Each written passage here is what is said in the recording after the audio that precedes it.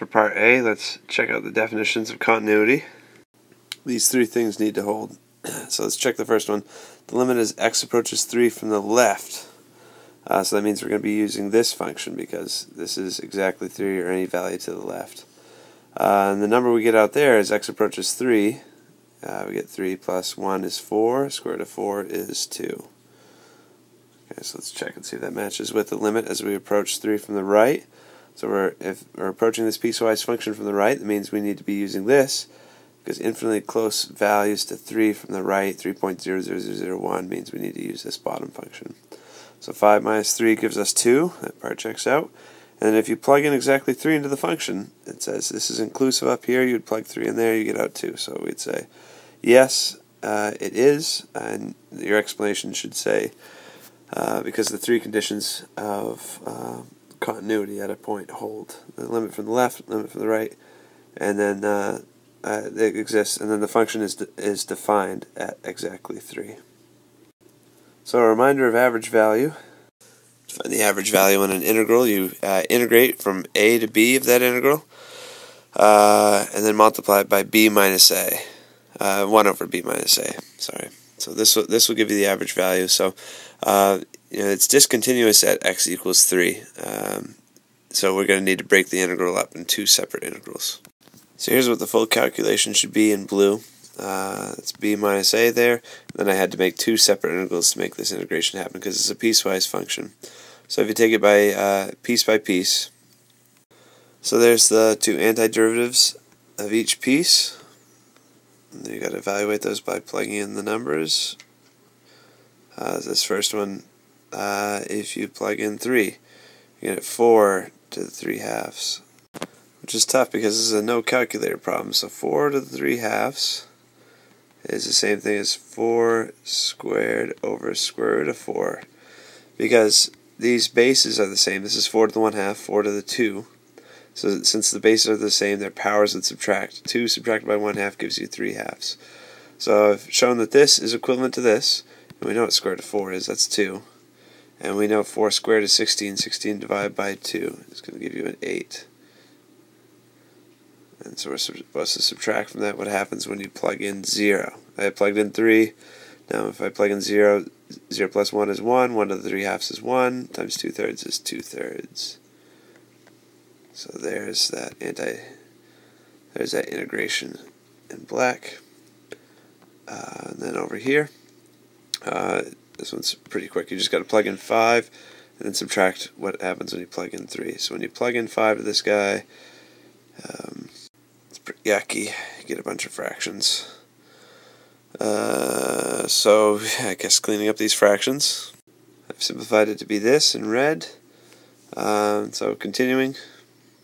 Whoops, a big mistake here. This is supposed to be all this multiplied by 1 over 5, because that was the the average value thing that came uh, thing that came out at, the beginning. B minus A down here. So, whoops, sorry, I just got a problem with my arithmetic here multiplied by 2 over 3 twice here. This should have been a 1 inside here. Uh, so I would change this fraction, and I would change this fraction. Everything else on the right side is okay.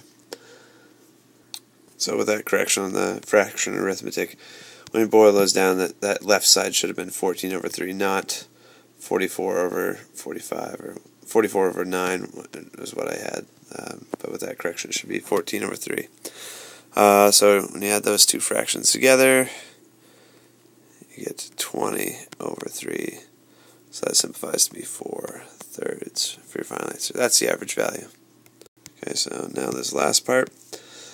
Uh, so different function g is defined like this, or k and m are just constants.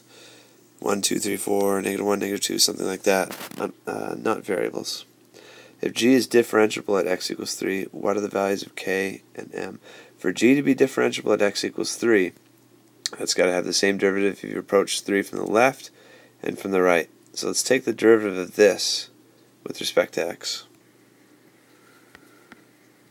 So there's our derivative in, in red, because uh, though, oops, that should be negative 1 half here. Because the 1 half power comes down, and then it gets reduced by 1. 1, uh, one half minus 1 gives you negative 1 half.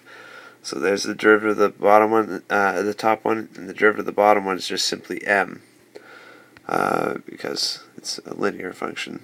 Uh, so when you take the derivative with respect to x, the 1 comes down, turns to a 0. So uh, since it's supposed to be differentiable at this point, they should be equal to each other at this point, at, at x equals 3.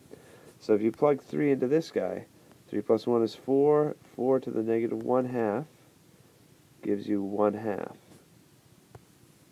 Because 4 to the negative 1 half is the same thing as 1 over square root of 4, square root of 4 is 2. So k over 2 times 1 half gives you k over 4. So we have this fact we're working with. If the differentiable uh, at the point x equals 3, you should be able to plug 3 into the top derivative and the bottom derivative, which there's no, no place to plug it in for x, but plug it into both, and they should be equal to each other. But we still can't solve. Two variables, one equation, can't solve. However, differentiability implies continuity. So you know they have to be continuous at this point. So the limit from the left as x approaches 3, and the limit from the right should equal each other. So let's plug 3 in black into the into the top and to the bottom. 2k is what I got for the top, and then when I plug in 3 into the bottom, I'm going to get uh, 3m plus 2.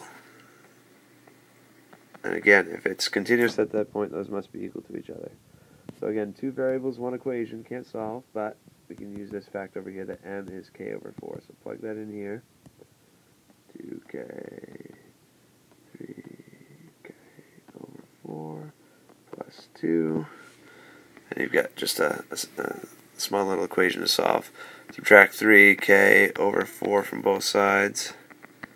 You get 1 and 1 fourth k equals 2. So k is going to be